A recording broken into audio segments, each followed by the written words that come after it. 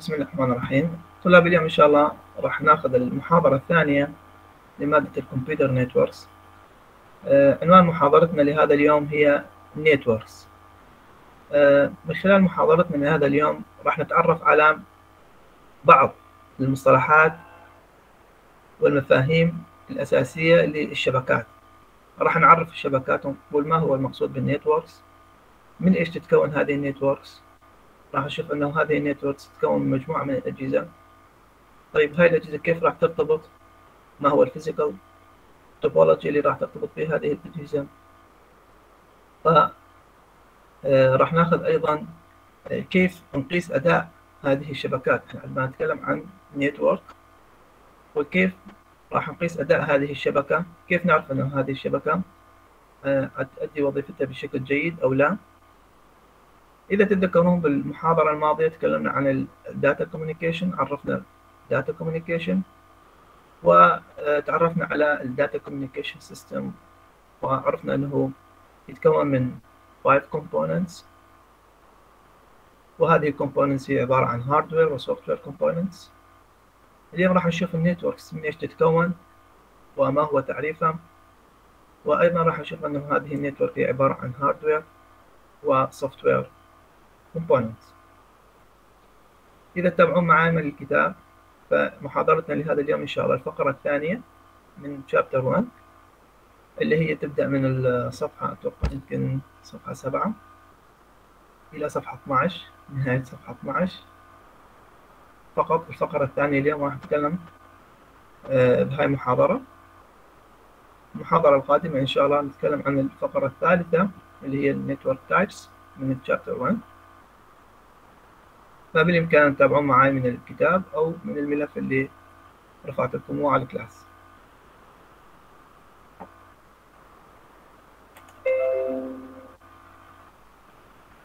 فنبدأ مع آه، تعريف الشبكات.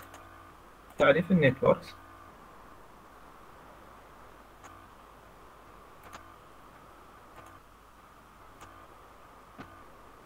نعم. ما هو المقصود بال networks؟ فممكن إنه آه، نعرف ال networks هي عبارة is the interconnection of a set of devices capable of communication.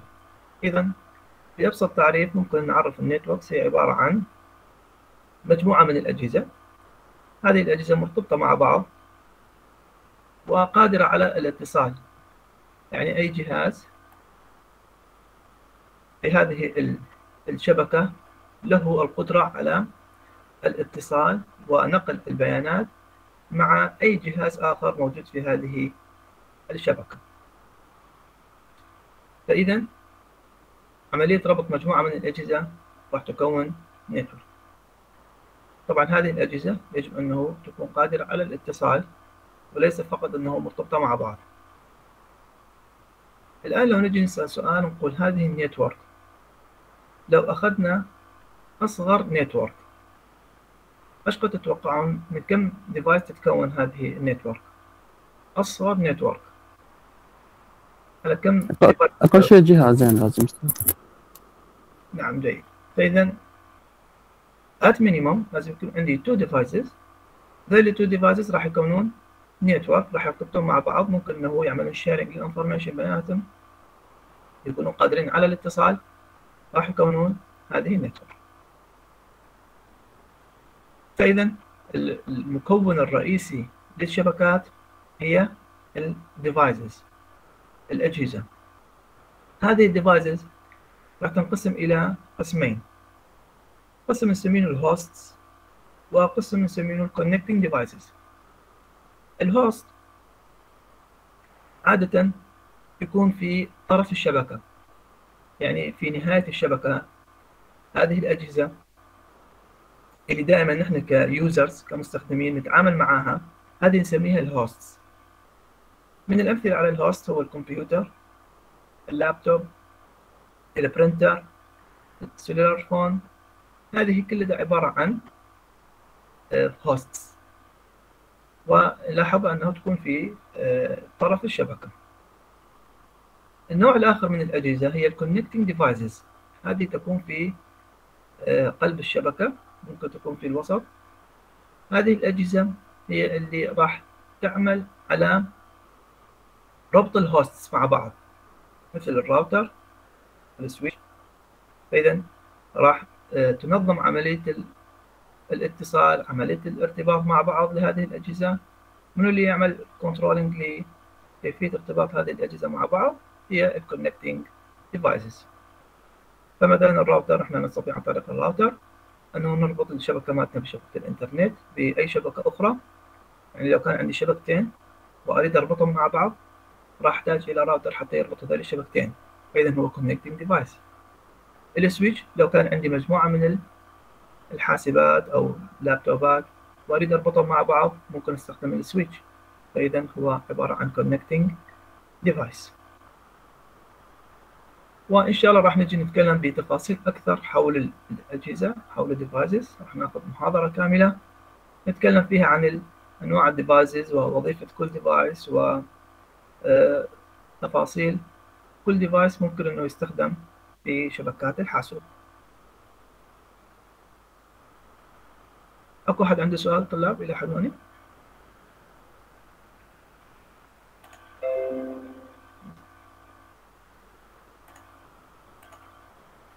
الآن ننتقل إلى ال network كريتيريا طبعا إحنا يعني نتكلم عن الشبكات وعرفنا الشبكات وعرفنا الشبكات من إيش تتكون. الآن لو نجي نريد إحنا نقيس أداء شبكة معينة. نريد نعرف هذه الشبكة هل آه، تشتغل بشكل جيد؟ لو آه، هذه الشبكة آه، الوظيفة اللي تقوم بها؟ غير جيدة إذا هنالك مجموعة من المعايير. عن طريق إحنا هذه المعايير نقيس بها أداء الشبكات وهذه يعني معايير ثابتة ومشهورة جدا في الشبكات. دائما نقيس معايير شبكة معينة حتى نشوف أداء هذه الشبكة. راح نتكلم عن شيء اسمه performance reliability و security. إذا هذه ثلاث المصطلحات. من خلالها ممكن أن نحن نقيس أداء ال network. فراح نجي نشوف كل واحدة منهم أشنو هو المقصود بها. نأتي في البداية عن ال performance لو نجي نعرف ال performance ال performance هو عبارة عن الأداء. نقول ال performance لهذا ال system ال performance لهذه ال network معناته أداء هذه الشبكة. وهذا ال performance راح يعتمد على عدة عوامل العامل الأول اللي هو ال number of users عدد المستخدمين. وهنا راح تكون عندي علاقة عكسية ما بين ال performance وما بين ال number of users يعني أنه كلما ازداد عدد المستخدمين كلما أصبح هنالك slow بال response time وبالتالي راح يقلل من أداء هذه الشبكة. إحنا كلنا نلاحظ يعني من خلال استخدامنا لشبكة الإنترنت آه، لو كان عندي ملف وأحتاج أنه أعمل له download فجيت إلى هذا الملف عملت له download في مثلا وقت المغرب أو بعد العشاء. راح يطول عندي وقت معين إلى أن ينزل هذا الملف. لو نفس الملف جيتوا علينا بعد صلاة الفجر وعملت له download راح نشوف أنه الوقت راح يفرق.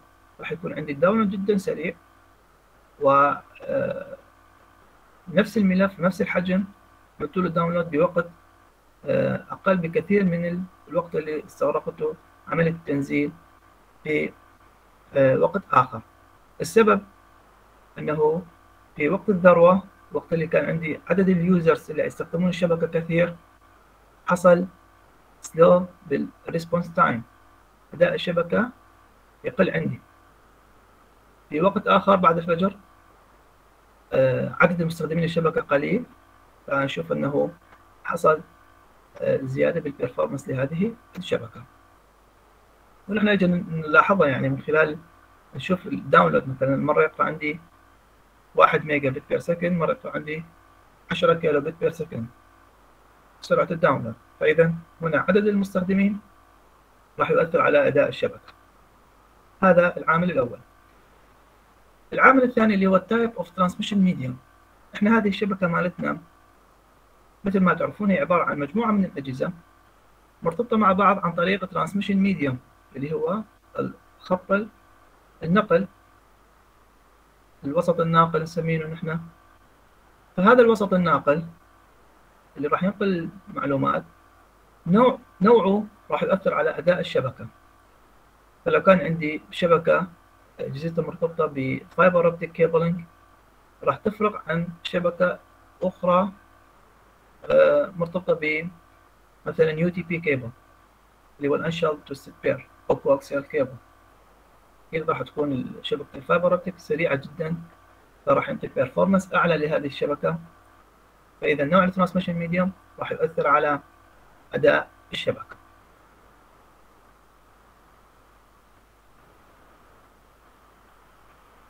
وأيضا راح نجي نتكلم عن يعني تفاصيل كثيرة حول ال transmission medium راح ناخذ ال wired وال wireless راح نتكلم عن بال wired عن ال UTP وال STP نتكلم عن ال fiber optic وال coaxial cable ونتكلم عن أنواع ال transmission medium اللي من نوع ال wireless العامل الثالث اللي هو ال capabilities of the connected hardware قابلية ال hardware اللي للأجهزة اللي موجودة داخل الشبكة. فأيضا راح تؤثر على ال speed وال capacity of transmission سرعة وحجم آه، النقل. أكيد إحنا يعني ال hardware components جدا مهمة.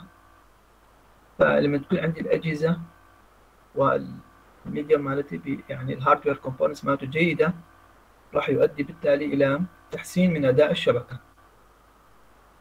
وكذلك ال efficiency of the software فاذا ال hardware components وال software للشبكة لها علاقة مع ال performance ال software اللي بيعمل processing لل data at the sender and receiver and intermediate affects network performance. فاذا ال software أيضا له دور جدا كبير.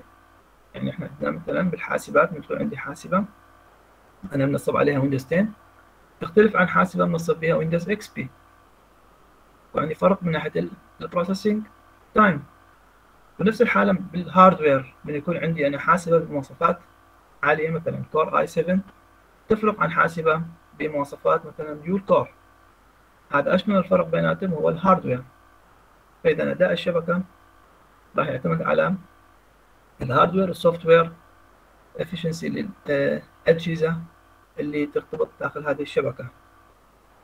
مثل ما عندي مواصفات بالحاسبات أيضا أنا عندي مواصفات لل switches لل routers حتى هي نفس الحاسبة لما ترتبط بالشبكة راح تكون جزء من آه كعامل من عوامل التأثير على أداء الشبكة.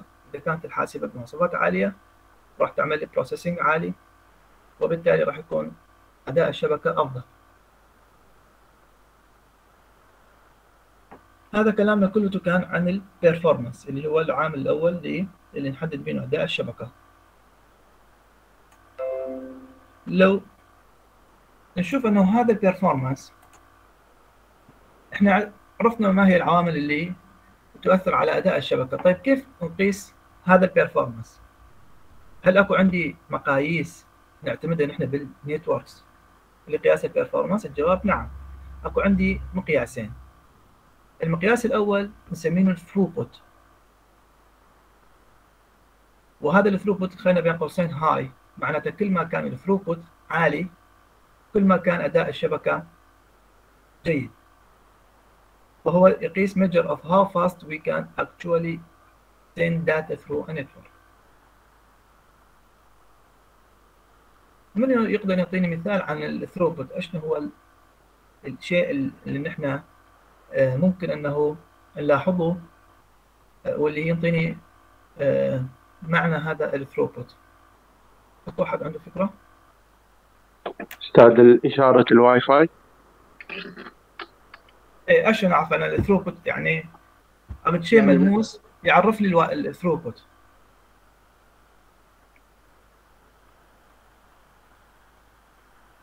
إحنا يعني ممكن نعرف ال throughput نقول هي يعني كمية البيانات الحقيقية اللي حتنتقل عبر الشبكة نسميها ال throughput فوين نلاحظوا هذا ال throughput دائما يعني؟ أستاذ مثلا من نعمل ping بدنا عندنا loss مثلا بالإشارة بين الحاسبة وال server نعم ال ping يعني راح يقيس لي خلينا نقول ال connectivity ي check لي ال connectivity لهذه الشبكة. أنا إذا أريد أشوف ال throughput يعني كلنا من نعمل download نشوف إنه كمية ال download إيش قد إيه إيش قد تظهر عندي مثلا بالفعل speed test مثلا. حسب ال performance لهذه الشبكة إيش قد مثلا تظهر عندكم السرعة.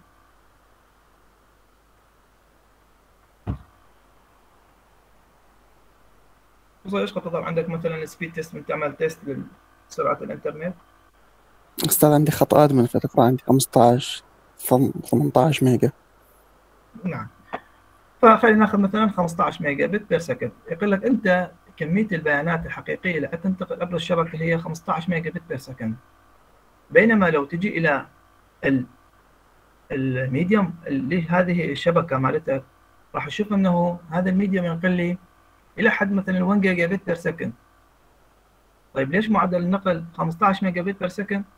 ونحن الشبكة مالتنا تستطيع النقل لحد ال 1 gigabit per second فاذا هون يعطيني كمية ال data الحقيقية اللي تنتقل عبر الشبكة. هاي هي نسميها ال throughput نفس الشيء أيضا من نعمل download نعمل download راح يعطيني إيش قد حتنتقل البيانات عندي؟ يقول لي مثلا 20 kilobit per second. بينما ال medium اللي اللي يربط هذا الجهاز مع الشبكة ينقل مثلا 1 جيجا أو 2 gigabit per second. بينما ال data الحقيقية اللي حتنتقل عبر الشبكة راح تكون أقل بكثير من ال bandwidth الحقيقي اللي آه، ممكن أنه آه، تنتقل بين البيانات داخل الشبكة. فإذا هذه نسميها ال throughput فكل ما كانت هذه القيمة أعلى كل ما نقول أنه راح يكون عندي fast سرعه أكثر لنقل البيانات وبالتالي راح تكون عندي performance أفضل. فإذا علاقة طرديه ما بين ال throughput وما بين ال performance المقياس الثاني هو ال delay. ال delay كلنا نعرف نقصد بينه التأخير. إيش قد تتأخر عندي البيانات؟ آه، في الشبكة أثناء انتقال البيانات داخل الشبكة إيش قد يحصل تأخير لهذه البيانات؟ راح نعتبر أنه هذه الشبكة هي من نوع ال low performance فإذا راح تكون عندي العلاقة عكسية ما بين ال delay وما بين ال performance كل ما كان ال delay أقل كل ما كان البرفورمانس أفضل لهذه الشبكة. فإذا هذول المقياسين نحن ممكن من خلالهم نقيس أداء الشبكة. أكو سؤال إلى حد هون ولا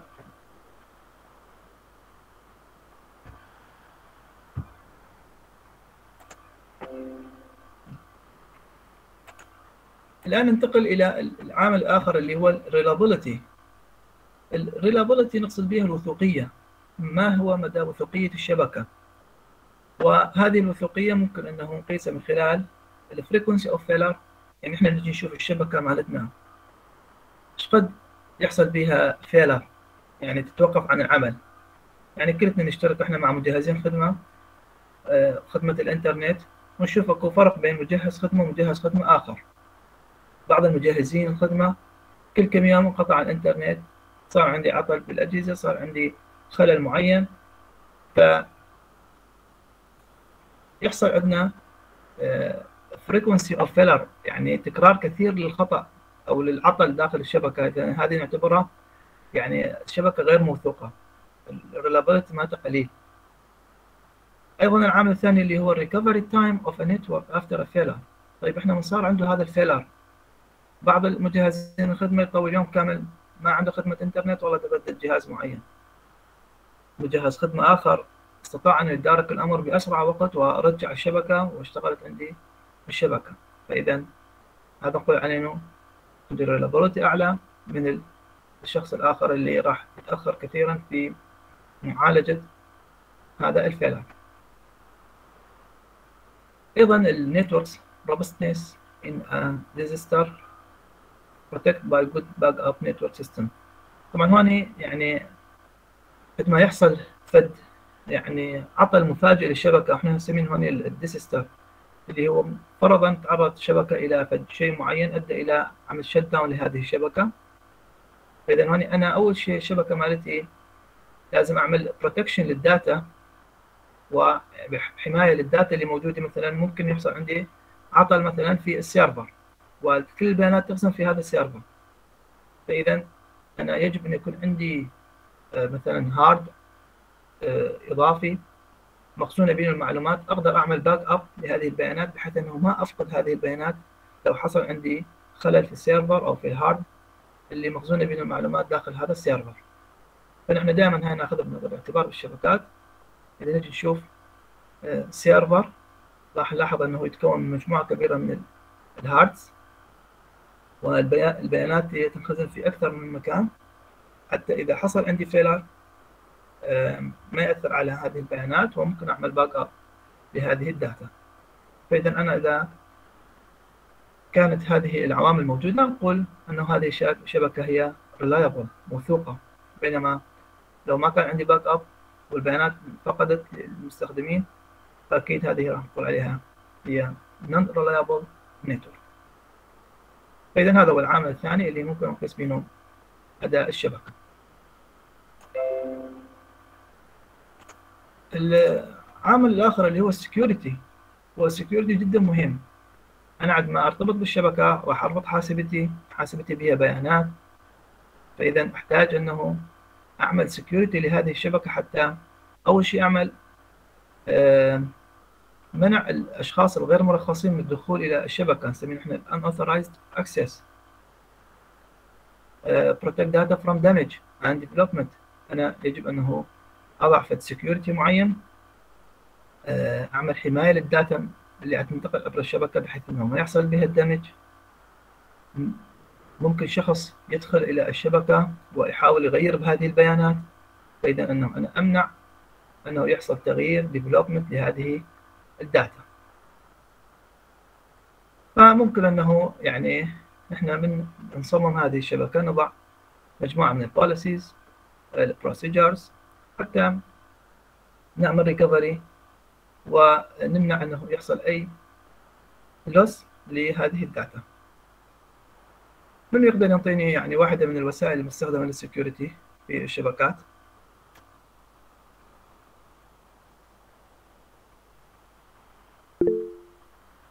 أستاذ رمز الواي فاي. رمز الشبكة رمز الشبكة نعم. ريم. إيش تقولين؟ أستاذ ال password. نعم بعد. password ال firewall نعم جيد. ال firewall بعد من وسائل ال security إيش اكو عندنا بعد.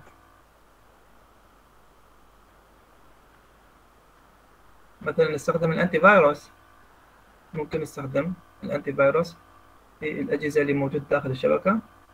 حتى نمنع ممكن نستخدم ال VPN فاذا هذه يعني ال proxy server. أكو كثير من الوسائل نحن يعني نتعامل معها بالشبكات لغرض آه، توفير ال security لل data اللي تنتقل عبر هذه الشبكة.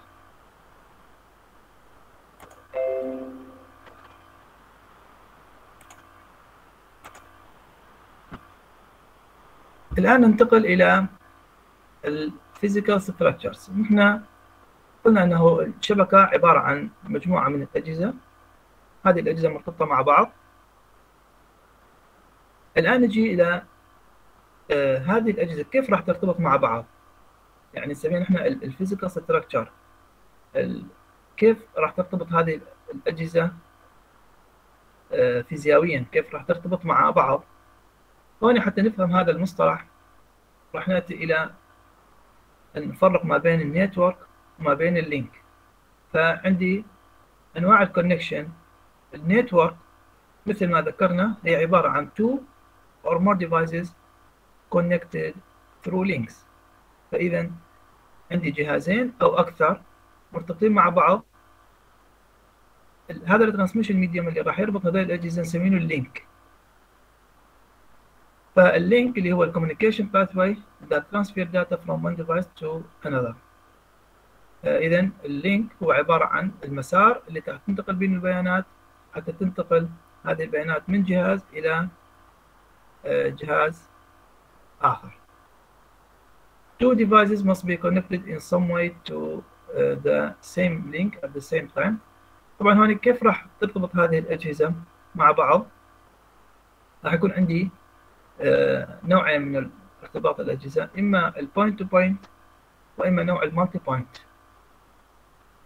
هسه نجي نشوف إحنا شنو المقصود بال point to point link وال multipoint link لو نأتي إلى النوع الأول اللي هو ال point to point ال point to point إذا مثل ما نلاحظ أمامنا بهذا ال figure لدينا هذه ال station station 1 و station 2 وبيناتهم اكو هذا ال link. فمن خواص هذا النوع من الربط أول شيء يعطيني dedicated link between two devices. يعني هذول two devices راح يكون اكو بيناتهم link هذا ال link هو مخصص فقط لنقل ال data ما بين هذول two devices. يعني ماكو عندي device آخر ممكن إنه يشارك معاه في نقل البيانات عبر هذا ال link. فنسميه إحنا dedicated. يعني محجوز فقط لهذول two stations. The entire capacity of the link is reserved for transmission between these two devices. إذا راح تكون ال capacity ال bandwidth لهذا ال link هي فقط راح يعني تشتغل من قبل هذول two stations و use an actual length of wire. Or cable هذا ال link عبارة عن يعني wire أو أي نوع من أنواع ال cables ممكن ال coaxial cable ممكن يكون من نوع ال twisted pair cable ممكن يكون fiber optic أو حتى ممكن إنه يكون wireless نجي نشوف هذا المثال. ال two dish antennas مرتبطين مع بعض ب link نسميه إحنا هذا ال wireless point to point link أيضا فقط هذول ال two devices هم يستخدمون هذا ال link لنقل ال data بيناتهم. فممكن يكون عندي مايكروويف أو satellite هذا نوع آخر من أنواع ال point to point links ومن الأمثلة أيضا التلفزيون remote control هذا ال remote control للتلفزيون. أيضا يولد IR signal ما بين هذا ال remote control وما بين التلفزيون. فاذا هذا أيضا يعتبر point to point link أكو سؤال طلاب؟ عفوا أستاذ. نعم. أستاذ هوني المايكروويف إيش يقصد بينه؟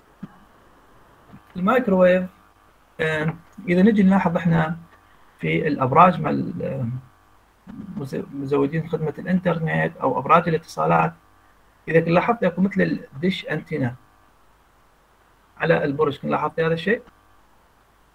اي أستاذ هذا ال dish آه، هو عبارة عن نسميه إحنا ال microwave link آه، راح يكون موجه إلى برج آخر. منصوب عليه أيضا dish antenna. فهذول ال two dish antennas راح يكونون يعني line of sight نسميه إحنا. موجهين واحد مقابل الآخر. آه، راح تنتقل الإشارة من البرج الأول إلى البرج الثاني عن طريق هذا الديش أنتينا. فإذا نجي نحن نلاحظ دائما بالأبراج الاتصالات وأبراج الشبكات نلاحظ أكو عندي نوعين من الهوائيات.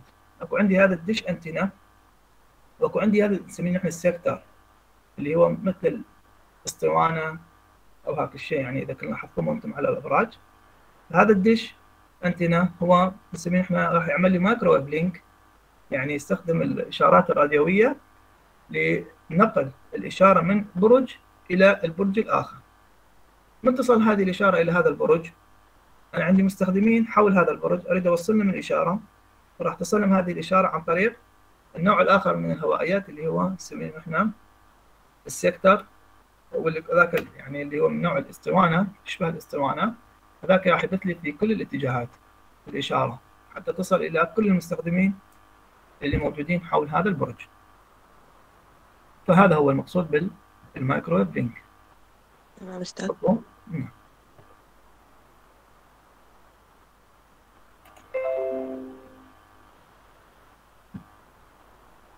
الآن لو ننتقل إلى النوع الآخر من من ال links اللي هو ال multipoint أو يسمى بال multi-drop. من اسمه multipoint؟ يعني ممكن يكون عندي أكثر من جهازين راح يشاركون ب link واحد. مثل ما نجي نلاحظ هاي هذا ال figure اللي موجود أمامنا. عندنا هذا ال link. راح نلاحظ أنه عندي هذا ال mainframe وعندي هاي ال station. 3 stations يشاركون كلهم في link واحد. بينما ال point to point كان لا. فقط two devices يشاركون في هذا ال link فاذا هنا more than two devices share a single link. ال capacity shared هون راح يعني يشاركون بيناتهم كلهم حتى ينقلون بياناتهم يعني ال bandwidth مثلا لهذا ال link راح يتم تقسيمه إلى هذول الأجهزة بحيث إن كل واحد منهم راح يأخذ جزء من هذا ال bandwidth حتى ينقل البيانات مالته عبر هذا ال link فمبدأ ال sharing ممكن يكون عندي يعني spatial أو temporary sharing. ال spatial shared اللي هو إذا كانت كل الأجهزة يريدون ينقلون بياناتهم بنفس الوقت أنا راح أجي أجزء هذا ال link ال capacity مالته إلى مثلا لو كان عندي هنا أربع أجهزة راح اقسمه مثلا إلى مثلا لو كان 100 megabit per second راح اخلي مثلا لكل جهاز 25 megabit per second ينقل بياناته. عبر هذا ال link. فاذا أقسم هذا ال bandwidth على الأجهزة. أو ممكن أستخدم ال time share يعني راح أخصص وقت لكل جهاز حتى ينقل بياناته عبر الشبكة وممكن يستغل ال bandwidth بشكل كامل لهذا ال link في الوقت المحدد اللي هو. فأجي أعمل مثل ال timer انطي الوقت مثلا أول شيء ال mainframe إذا كان عنده بيانات راح تستغل ال bandwidth بشكل كامل لنقل البيانات بقية الأجهزة ما راح تقدر ترسل. تنتظر إلى أن يخلص ال timer من ال mainframe يجي ال station الأولى. ال timer عليها. راح تنقل بياناتها. وهكذا. فإذا نسميه إحنا ال time share. فإما ن share ال bandwidth نفسه أو نعمل sharing الوقت وكل واحد من عندهم يستخدم الوقت المخصص اللي هو حتى ينقل بيانات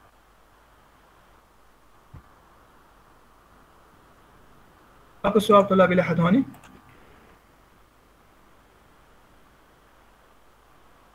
ان شاء الله واضح أستاذ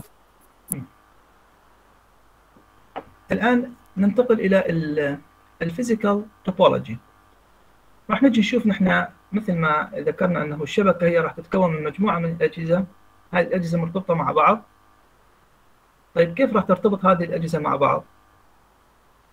هون طريقة ارتباط هذه الأجهزة راح نسميها نحن بال physical topology. يعني توبوغرافيه الشبكة الفيزيائية كيف راح the way a network is laid out physically. يعني كيف هذه الأجهزة راح ترتبط مع بعض. يعني أنا مثلا لو كان عندي ثلاث أجهزة أريد أربطهم. فيجي شخص يقول لي أنا راح أربط الجهاز الأول مع الجهاز الثاني والجهاز الأول مع الثالث. وهكذا بالنسبة للجهاز الثاني اربطه مع الأول والثاني كل جهاز اربطه مع الجهازين الأخر. شخص آخر يقول لا أنا أجيب switch وأربط هذه الثلاث أجهزة بال switch وصار ارتباط بيناتهم. فإذا أنا ممكن أن يكون عندي أكثر من طريقة لربط هذه الأجهزة مع بعض. هذه إحنا نسميها ال physical topology فال physical topology راح تكون باستخدام يعني راح يكون عندي two or more links from a form a topology. اشغل تتكون عندي هذه ال topology لما يكون عندي two links أو أكثر. لو لك لأنه لو كان عندي link واحد يعني معناته عندي two devices جهازين أكيد راح اربط هذول الجهازين مع بعض. ما راح يكون عندي يعني أكثر من طريقة لربط هذول الجهازين. هو عندي link واحد وجهازين. بينما لو كان عندي أكثر من link لا هون راح يكون شيء اسمه ال topology وممكن أنه آه راح يكون عندي أكثر من نوع من هذه ال topology من هذه التوبوغرافية هذه الشبكة. فاذا ال topology ممكن نعرفها of a network is the geometric representation اللي هو التمثيل لهذه الأجهزة of all the relationship of all the links and linking devices to one another. فإذا طبوغرافية هذه الشبكة تمثيل هذه الأجهزة العلاقة بين هذه الأجهزة هي اللي راح تكون ما يسمى بال topology فأنواع ال topologies إحنا راح ناخذ أربع أنواع من ال topologies اللي ممكن أنه يعني تستخدم في الشبكات. عندنا الميش توبولوجي الستار توبولوجي البس توبولوجي والرينج توبولوجي فراح نشوف إحنا كل واحدة من هذه ال topologies إيش هو المقصود بها وما هي فوائد ومضار هذه ال topology لو مقارنة مع النوع الآخر. فنأتي في البداية على إذا نلاحظ هذا ال figure هو راح يوضح لي هاي ال topologies هذه أنواع ال topologies اللي راح نتكلم عنها. فنأتي بالبداية مع ال mesh topology ال mesh topology هي every device has a dedicated point-to-point link to every other device. راح نلاحظ أنه كل جهاز راح يكون له link من نوع point-to-point مع بقية الأجهزة اللي موجودين في الشبكة. فمثلا هذا ال figure اللي موجود أمامي لدينا خمسة أجهزة. كل جهاز راح يرتبط ب link مع الأجهزة البقية الأربعة لهذه الشبكة. فلو جينا رقمنا هذه الأجهزة مثلا هذا الجهاز بالأعلى لو أنه هو رقم واحد راح يرتبط ب link مع الجهاز الثاني link آخر مع الجهاز الثالث link مع الجهاز الرابع و link مع الجهاز الخامس. ونفس الحالة من نجي إلى الجهاز الثاني أيضا راح يرتبط مع كل بقية الأجهزة اللي موجودة في الشبكة. فهذه كون شيء اسمه mesh ولهذا سميت بال mesh topology لأن كل جهاز راح يرتبط point-to-point link مع بقية الأجهزة.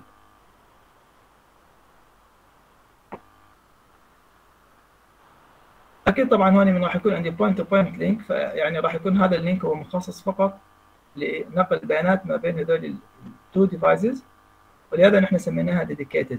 يعني هذا ال link هو فقط محجوز لنقل البيانات ما بين هذول الجهازين.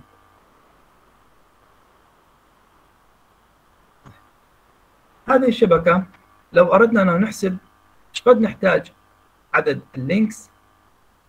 وكم port نحتاج في كل جهاز حتى نستطيع أن نربط شبكة من نوع mesh topology فلو كان على سبيل المثال أنا كان عندي n device يعني عدد الأجهزة نعتبره n فحتى نحسب عدد ال links اللي مطلوبة راح يكون عندي هذا القانون نستخدمه n في n ناقص واحد على اثنين.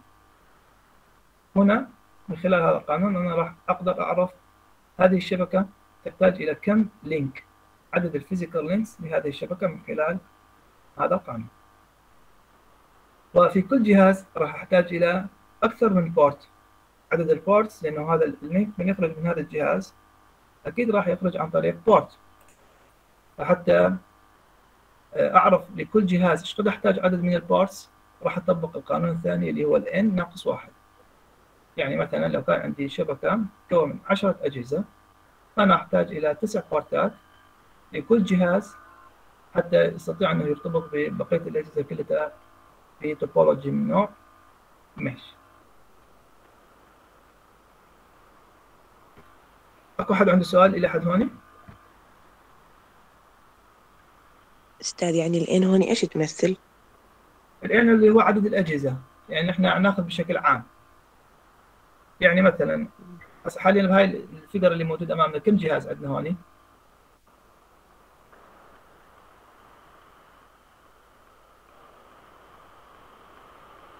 ست أجهزة أستاذ. ستة. يعني معناتها ممكن نعتبر n يساوي لنا ستة. لما نجي نحسب ال physical links راح نقول كم هون إذا نجي نحسب كم link عندي خلينا نقعد أحسب link واحد واحد أحسب. يعني حتكون طريقة صعبة. فأجي لهذا القانون أقول ستة في 6 ناقص 1 على 2 إيش قد راح يطلع عندي الرقم؟ 15 نعم اللي هو يعني 6 في 5 على 2 30 على 2 15 فلو أجي فعلا أعد هاي ال link راح أشوف إنه عندي أنا 15 link. فمباشرة أقدر أحسب عدد ال links من خلال هذا القانون. كل جهاز هوني يحتاج إلى حاليا عدد ال ports 1 2 3 4 5 هي n ناقص واحد. لكل جهاز المفروض يكون بينه 5 ports وهذا ال ports يعني نحن عندنا بالشبكات يعني لما يكون عندي مثلا أنا قاعد أستخدم حاليا هذا إحنا نسميه RJ45 اللي هو ال connector الخاص بربط الجهاز بالشبكة. هذا ممكن إحنا نسميه port فلازم أحتاج إلى خمسة من هذول ال port ات حتى أستطيع أن أربط هذا الجهاز ببقية الأجهزة اللي موجودين ضمن هذه الشبكة. انت ما مقطع واحدة بس من نعم رفع عندك السؤال؟ خلي خفانة استخدم شيء بالدفع أسوي منها رجعني بس المايك مالتك رفع. خلاص دقيقة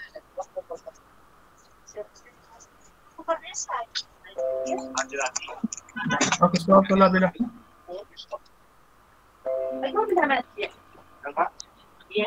رفع سامعيني؟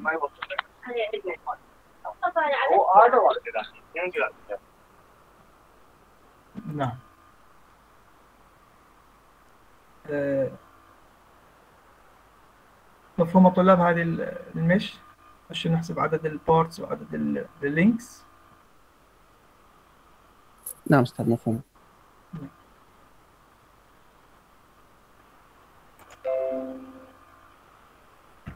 إذا نجي نلاحظ هنا كده أعطانا في المثال هاي ال- الشبكة تتكون من ثمان أجهزة. حتى نجي نحسب عدد ال links راح نقول n في n ناقص واحد على اثنين. فراح يكون number of links يساوي ثمانية في ثمانية ناقص واحد على اثنين فراح يكون عندي ثمانية وعشرين link طبعا هون هم ستة يعني بس هو ياخذ لو كان لدينا شبكة تتكون من ثمان أجهزة. وعدد ال ports هو ثمانية ناقص واحد راح يكون عندي سبعة لكل جهاز. لو أردنا أن نحسب عدد ال ports لكل الأجهزة راح نقول عندي لكل جهاز هو عندي سبع port ات فايش قد راح يكون عدد ال ports الكلي؟ من يعرف؟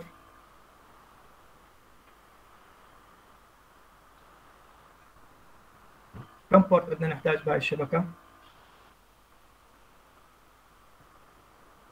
28 أستاذ 22 سبع ما بورتات أستاذ وصل إيش قد كانت الإجابة مالك؟ 28 أستاذ إذا إحنا 28. كل جهاز سبعة بعد نعم اكو جا- بعد إجابة أخرى؟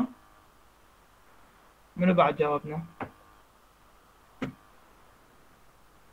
أستاذ البورت للجهاز الواحد ولا الشبكة كلها ودد؟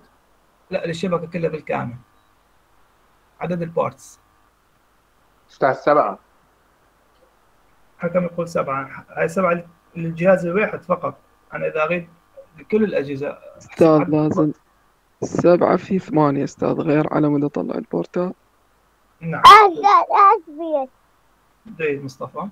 ستة وخمسين. نعم لازم يكون عندي. آه، إحنا كل جهاز هو سبعة. سبعة ports فعندي ثمان أجهزة أقول سبعة في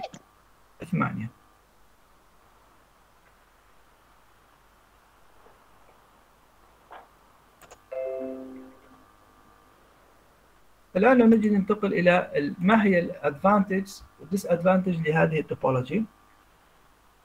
فراح أشوف أنه من ال advantage يعني ميزات هذه ال topology أنه يعني each connection carry its own data load no traffic problems. ما حيكون عندي مشكلة بال traffic لأنه مثل ما قلنا هاي ال links كلها عبارة عن point to point links.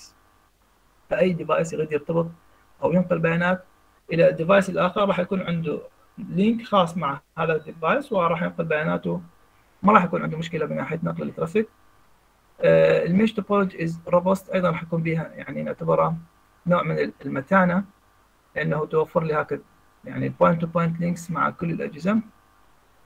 فيها نوع من ال privacy وال security هون عندي ال data. من تنتقل تنتقل يعني بين two devices فقط.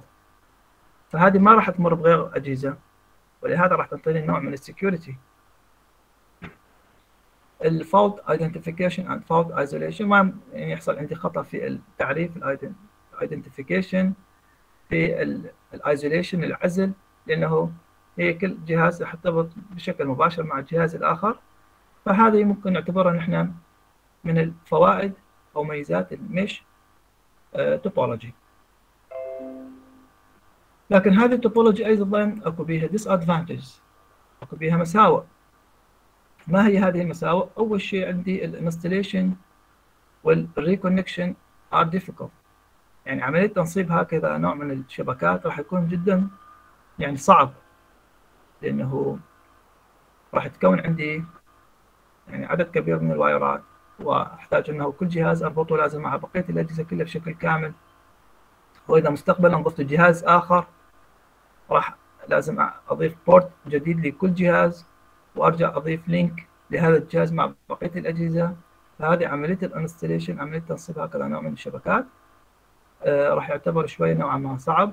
وإذا غيرت موقع جهاز معين أيضا مثلا أحتاج احتمال إلى ان اغير ال links كلها إذا كانت المسافة شوي أبعد ممكن طول هذا ال link ما ما يصل. فأحتاج إلى link بطول أكبر. فهون راح يكون عندي صعوبة في ال reconnection أيضا ال sheer bulk of wiring can be greater than the available space. طبعا راح يعني حجم هذه ال wireات راح يكون كبير جدا. فحتى ممكن ال tray cable الخاص بهذه الكيبلات ما راح يسع لهكذا حجم من الكيبلات راح يكون عندي big amount of cabling يعني عدد كبير من ال من ال cables وأحتاج إلى ال ports عدد أيضا كبير من ال ports لكل جهاز. راح يكون بينه يعني n minus واحد من ال ports وال hardware connect to each input output could be expensive. أيضا هذا راح يكون على حساب التكلفة. يعني أنا عندما آه إذا أحتاج ان أربط هذه الشبكة مثلا لو كان عندي ثمان أجهزة فأحتاج مثلا لو كانت هذه ثمان حاسبات. ففي كل حاسبة لازم نشتريها أحسب حساب إنه بيها سبع بورتات من نوع مثلا RJ 45 أو من نوع شو راح أربط هذه الشبكة؟ فراح يكون على حساب التكلفه من أجي أنا أطلب حاسبه بهكذا مواصفات راح يكون على حساب المبلغ راح يكون أكبر. فاذا هذه راح تكون نوعا ما expensive. فاذا ممكن إنه يعني نشوف أنه ال mesh topology دائما ممكن أنه تستخدم مع الشبكات الصغيرة أو ما يسمى بال backbone ال backbone اللي هو إحنا قلب الشبكة مالتنا أو خلينا نقول العمود الفقري للشبكة نسميه نحن ال backbone اللي هي مثلا أنا عندي مثلا عندي routerين و switchين هذول مسؤولين عن توصيل ال users كلتهم بشبكة الإنترنت. فهذول ال routerين مع ال switchين أنا ممكن أربطهم مع بعض ب mesh topology ما راح يكون عندي مشكلة لأنه عددهم قليل. بينما لو كان عندي شبكة تتكون من 20 user 30 user 50 user من المستحيل أنه أقدر أربط هذول المستخدمين كلهم بطريقة ال mesh topology ولهذا قلنا هي ال mesh topology is implemented in a limited fashion. يعني للشبكات الصغيرة أو للأجهزة. لو كان عندي عدد قليل محدد من الأجهزة ممكن أستخدم بينه هذه ال topology مفهوم طلاب هذه ال mesh topology أكو أحد عنده سؤال عليها؟ واضح أستاذ.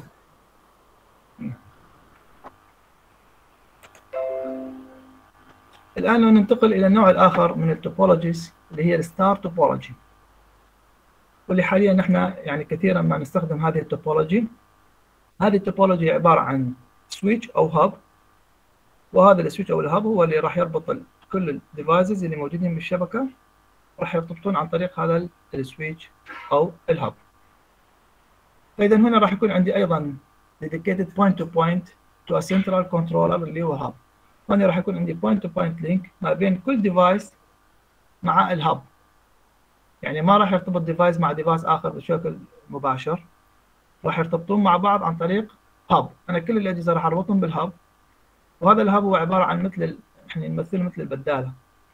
مثلا جت البيانات من device معين وجيت تنتقل إلى ال device الآخر. فراح يعمل connection بين هذا ال device وال device الثاني حتى تنتقل البيانات بين هذول ال two devices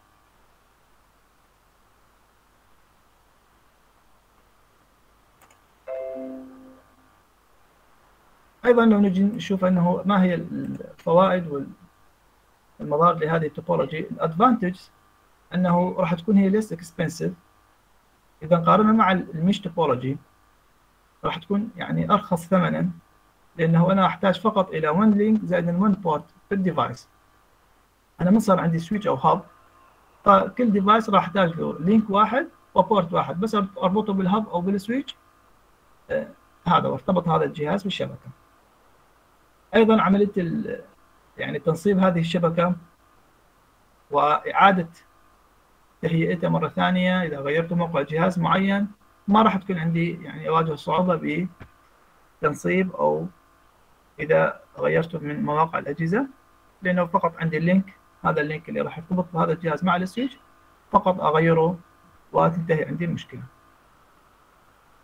Less cabling آه، أيضا يعني ال cables راح يكون عندي أقل بكثير من ال mesh topology وال additions, moves and deletions require one connection. أيضا إذا أنا يعني أردت أنه أضيف جهاز أو أغير موقع جهاز أو ألغي الجهاز من الشبكة فراح تكون يعني جدا سهلة.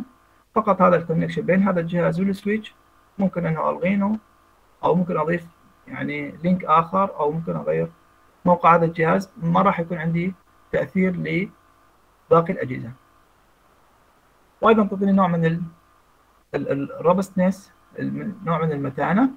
يعني مثلا إذا حصل عندي fail عطل لواحد من الأجهزة ما راح يأثر عندي على بقيه الأجهزة. فراح تبقى الشبكة شغالة. إذا كان واحد من الأجهزة حصل بينه failure وأيضا easy fault identification and fault isolation.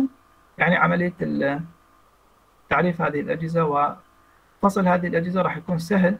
ما يعني يحصل عندي خطأ أخطاء في عملية ال identification أو في ال isolation فاذا هذه هي ال advantage لل star topology طبعا إحنا حاليا يعني كثيرا ما نستخدم هذا النوع من ال topologies يعني لو كان عندي مثلا مختبر وبينه حاسبات وأريد أربطهم مع بعض راح أستخدم ال star topology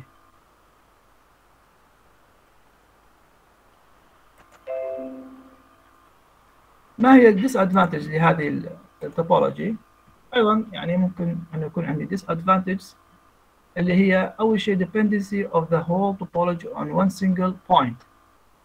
هنا المشكلة اللي راح تواجهني أنه لو حصل عطل لهذا ال hub أو ال switch إيش راح يحصل؟ الشبكة كلها راح تقف بالضبط.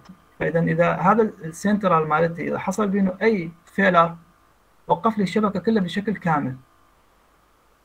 فهذه نعتبرها من ال disadvantage لل star topology. وكذلك إذا راح نجي ناخذ ال ring topology إذا نقارنها مع ال ring topology راح نشوف أنه ال cabling لهذه ال topology راح تكون أكثر من النوع الآخر اللي هو ال ring أو ال bus topology. فهذه تعتبر من ال disadvantage لل star topology. آه هاي ال topology دائما نستخدمها بشبكات ال LAN ال LAN اللي هي مختصر لل local area networks مثل ما قلت لكم في مختبر. آه يعني إن شاء الله إذا صار عندنا وقت و آه من الزيارة لمختبر الشبكات مختبر اكاديميه السيسكو في الكلية. راح أشوفكم كيف هذا المختبر بين مجموعة من الأجهزة كيف مرتبطة مع بعض عن طريق ال switch. وهذه هي اللي نسميها شبكات الآن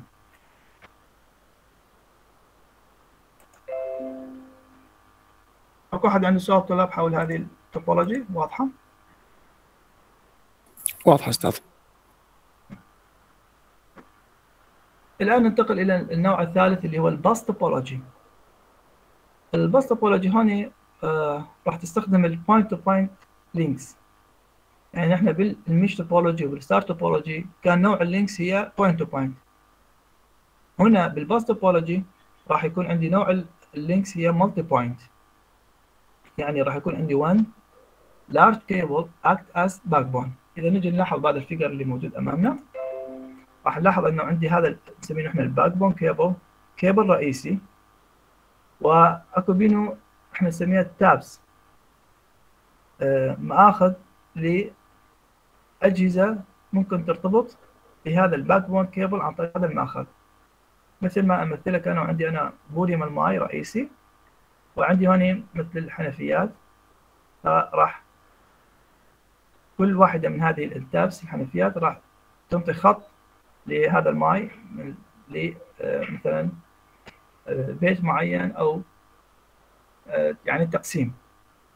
فنفس الحالة هون عندي كأنه هذا الكيبل الرئيسي. و راح يخرج منه تفرعات.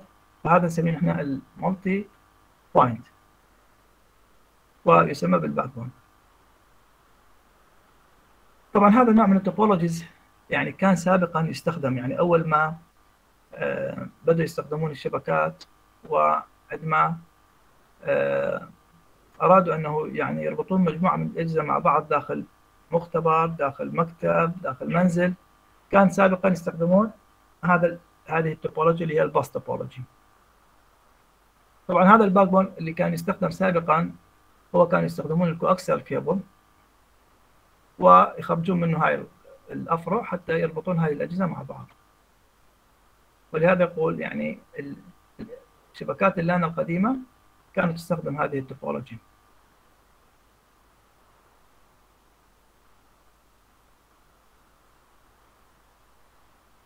فاذا هذه يعني هون يسمى هذا ال tap وال link اللي راح يربط من هاي ال tap إلى الجهاز نسميه drop line هذا هو ال drop line.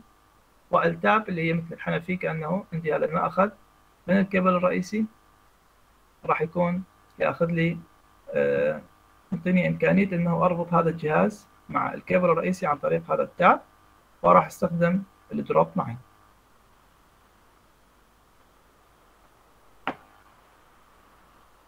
طبعا هون الإشارة يعني راح تنتقل عبر هذا ال backbone cable في كلا الاتجاهين. فممكن أنه يحصل عندي يعني تضيع عندي قسم من ال energy لهذه الإشارة آه عن طريق يعني ال heat. ممكن يحصل عندي يعني مشكلة بال reflection لهذه الإشارة. يحصل عندي انعكاس لأنه الإشارة تنتقل من النهاية الأولى إلى النهاية الثانية وترجع بالعكس. وعن طريق ال drop line راح تصل إلى هذه الأجهزة. Limit of number of taps and the distance between taps. أيضا هون راح يكون عندي تحديد بعدد ال taps يعني أنا لو كان عندي كيبل بطول معين فراح يكون عدد التابس وعدد الأجهزة اللي راح ترتبط بهذا الكيبل محدد حسب طول هذا ال backbone cable فكل ما كان الكيبل أطول ممكن أربط بين أجهزة أكثر. فلو كان عندي مساحة صغيرة تحتوي على عدد كبير من الأجهزة هون راح أواجه مشكلة بال bus topology أيضا هذه ال topology راح يكون بها advantage disadvantage. ال advantage هي ease of installation. هنا يعني عملية التنصيب هذه ال topology سهلة لأنه كيبل رئيسي وأربط بينه هاي الأجهزة. وأيضا عدد ال cables راح نشوف أنه هو فعلا ليس إذا قارنا مع ال mesh topology أو ال star topologies. لأنه عندي كيبل رئيسي هو يمتد على طول الشبكة وعندي هاي ال drop lines ال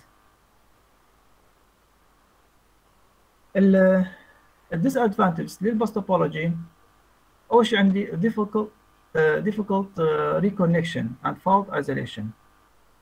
هون راح يكون عندي تحديد بعدد ال taps هاي تعتبر disadvantage وإذا غيرت موقع أي جهاز هم راح يولد عندي مشكلة لأنه هذا الجهاز راح يكون مرتبط مع drop line و tap بموقع معين.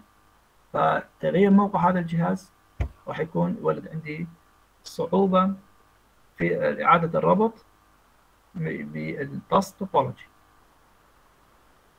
أيضا إضافة جهاز جديد راح يتطلب يعني ممكن إنه هذا ال backbone cable إذا كان عندي عدد ال taps بينهم full فما راح يعني أقدر اضيف لازم أغير ال backbone فهذه تعتبر ك disadvantage ال fault or break in the bus cable stop all transmission أيضا إذا حصل عندي failure بهذا ال bus cable حصل بينه قطع أو أي مشكلة كل الأجهزة راح تتوقف عن الاتصال. The damaged area reflects signal back in the direction of the origin, creating noise in both directions. مثل ما ذكرنا إنه هذه الإشارة راح تنتقل بال... بالاتجاهين تنتقل بالاتجاه الأول ثم ترجع تنعكس. وترجع تنتقل مرة ثانية. فإذا حصل هكذا نوع من الانعكاسات داخل هذه داخل هذا الكيبل هنا راح يولد عندي نوع من ال noise وراح يكون عندي تأثير على الإشارة اللي أريد أن أنقلها داخل هذا الكيبل. إذا هذه هي ال disadvantages لل bus topology واضحة طلاب هذه ال topology؟ نعم واضح أستاذ طبعا يعني كانت سابقا تستخدم في شبكات ال LAN آه، يعني كان بها نوع من المشاكل. يعني نشوف إحنا هذا ال backbone cable يعني ما من السهل إنه نوصبه فمن ظهر عندي ال hub وال switch هاي ال- ال- ال bus topology يعني بعد ما ظل أي استخدام. كل شبكات ال LAN انتقلت إلى ال star topology النوع الآخر من ال topologies هو ال ring topology ومن اسم ال ring يعني هاي ال topology تكون على شكل حلقة. فكل جهاز هوني راح يرتبط مع الجهاز المجاور اللي هو ب point to point link. وهذا أيضا إحنا من نقول point to point معناته أن هذا ال link هو dedicated link. إلى أن يتكون عندي مثل الحلقة مثل ما نشوف بهذا ال figure اللي أمامنا. فحتى تنتقل الإشارة عبر ال ring topology طبعا راح تنتقل باتجاه واحد فقط. من جهاز إلى جهاز إلى أن تصل إلى ال destination طبعا ال destination إحنا قلنا أنه هو عبارة عن ال- ال- الهدف. يعني أنا لو كان عندي مثلا هذه الحاسبة اللي مثلا بالجهة اليمنى تنقل بياناتها إلى الحاسبة اللي بالجهة اليسرى. فال الاتجاه النقل لو كان بال... راح ت... يعني تمشي هذه ال- ال data مالتنا من هذا ال device إلى ال device اللي بالأعلى. ال device الأول راح تصل له هذه ال data راح يشوف إنه هاي ما مخصصة له راح يرجع يمررها إلى ال device الثاني بالأعلى. راح يشوف إنه هذه ما مخصصة له تنتقل إلى ال device الثالث راح أشوف إنه هاي ال data مخصصة له فاذا هذا ال device اللي أنا أريد انقل له هذه ال data إحنا نسميه بال destination.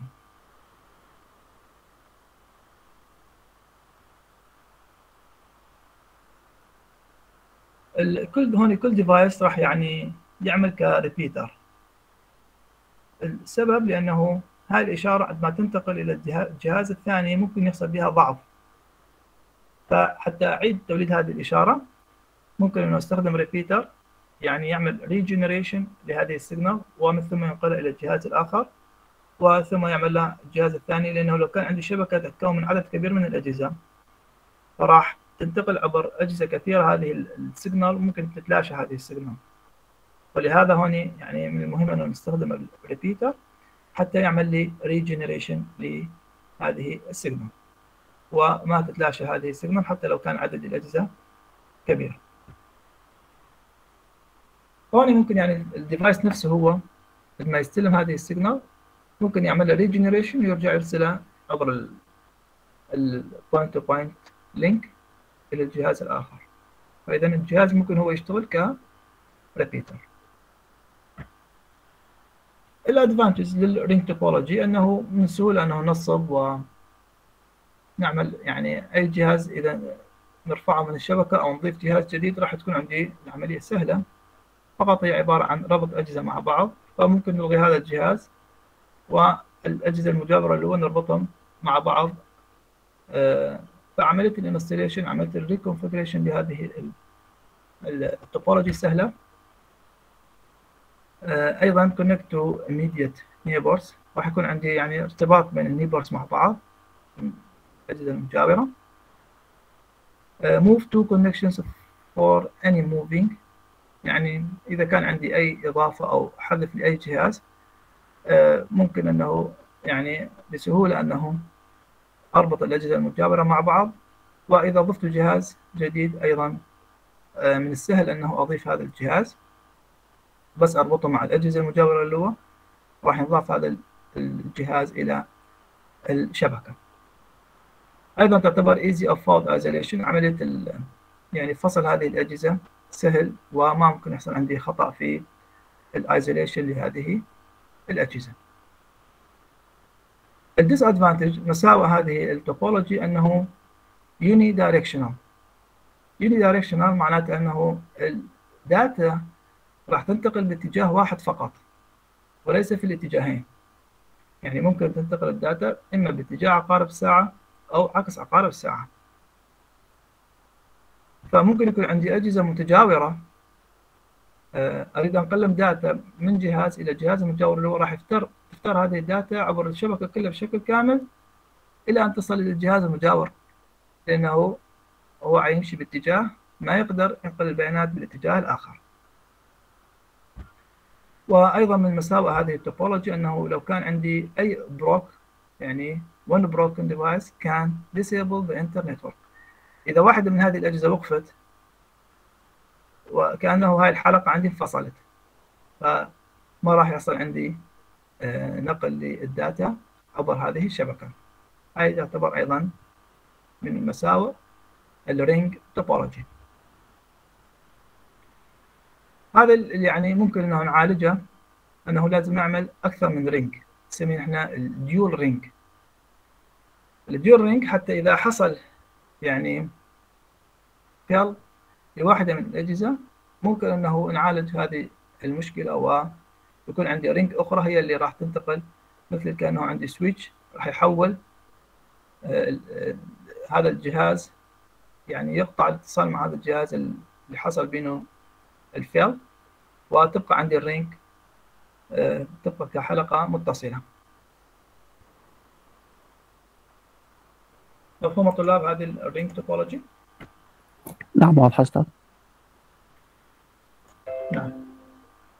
بقى عندنا آخر شيء اللي هي ال hybrid ال hybrid topology ال hybrid يعني أنا ممكن يكون عندي topology تشمل أكثر من نوع من الأنواع الأربعة اللي أخذناها.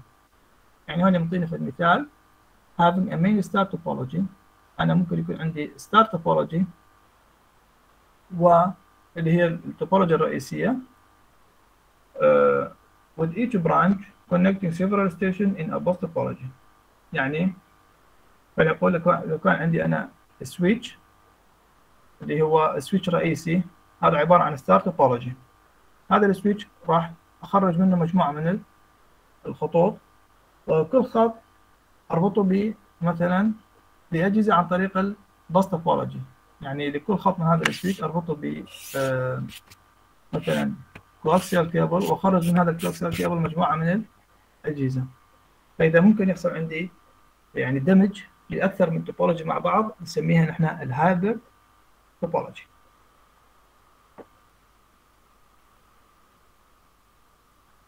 إلى حد هون نكون قد أنهينا محاضرتنا لهذا اليوم. ال- اللي هي الفقرة الثانية من chapter 1 إذا كان عندكم أي سؤال أو استفسار حول محاضرة اليوم اعملوا لي raise hand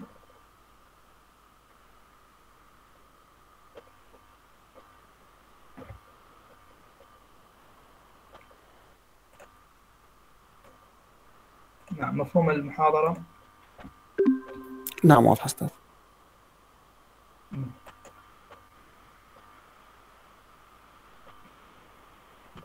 إذا إن شاء الله يعني إحنا المحاضرة القادمة نحاول نكمل يعني chapter 1 بقى عندنا الفقرة الثالثة من ال chapter اللي هي ال network types راح نتعرف على آه، أنواع الشبكات. وأنا أريد أن أذكر يعني آه، تتابعون المحاضرات. آه، حاولوا تتابعون المحاضرات. يعني كل محاضرة بمحاضرتها حتى لا تتراكم عليكم المحاضرات لأنه يعني نوعا ما المادة راح تكون شوية طويلة ف حاولوا يعني لا تخلون قراءتكم للمادة في ليلة الامتحان. وأريد تقرون حتى ممكن أنه بأي وقت أعمل لكم كويز مفاجئ. خاصة إذا يعني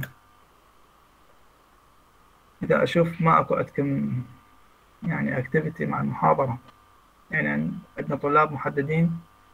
يشاركون بقية الطلاب حالة ال silent أنا راح أخلي درجات على المشاركات.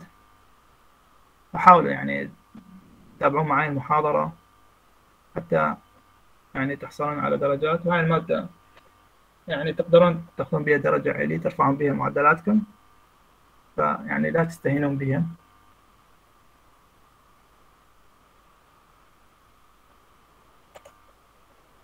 نعم عندنا إلاف تقول المحاضرتين الأولى والثانية كلها شرحيات تقريبا.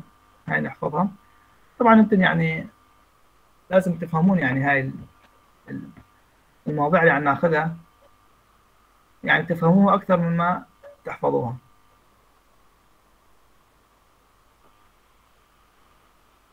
أكيد يعني مثلا عندنا كل topology لازم مثلا تفهمون أنتم هاي ال topology عشان ترتبط عشان هي ال advantage ال disadvantage